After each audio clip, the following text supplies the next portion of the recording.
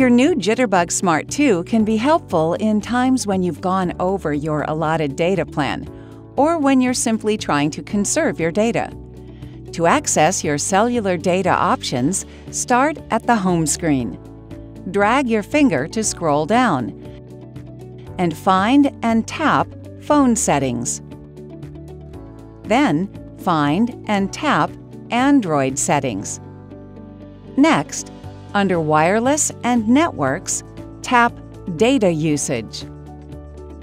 In the next window, you'll see your data usage for the billing cycle.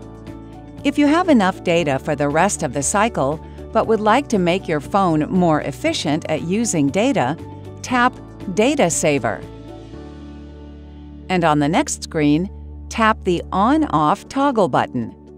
When Data Saver is on, this will prevent some apps from sending or receiving data in the background.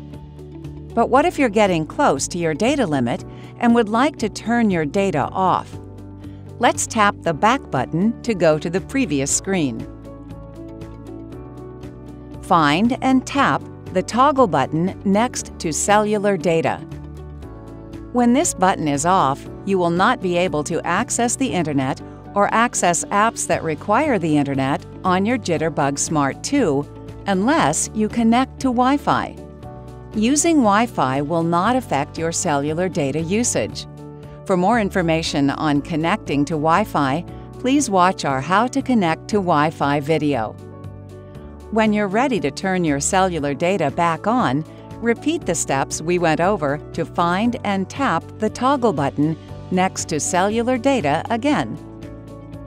To confirm your cellular data is turned on, you'll notice that the LTE icon is back on your status bar. Now that you know how to better manage your data, be sure to check out our other how-to videos to learn more about the features of your new Jitterbug Smart 2.